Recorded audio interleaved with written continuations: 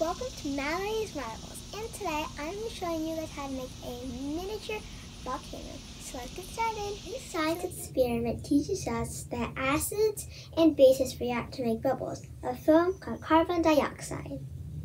So the things we need is vinegar, baking soda, a red food color or any food coloring of your choice, a spoon, paper towels, of water, and some safety goggles if you want to be safe. So, step one. Of course, you're going to need one half of a cup of water, and then put it on paper towel so when it explodes, it won't get all over where you're doing your experiment. And then next, you'll need two spoonfuls of baking soda. Just Pour that in. One. And. After that, you might want to stir well.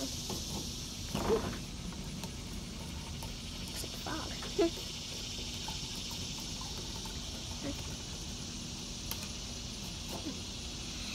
Next, you want to put a little bit of vinegar in.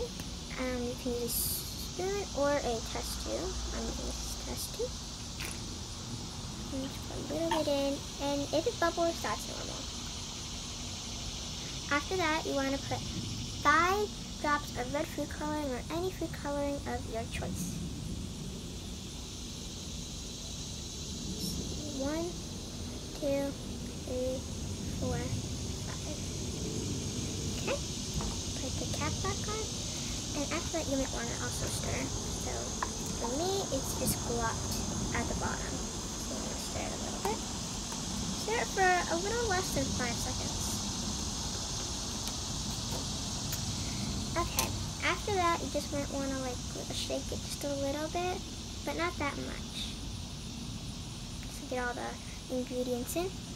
After that, you want to like put your ingredients aside and watch the magic happen. In three, two, one.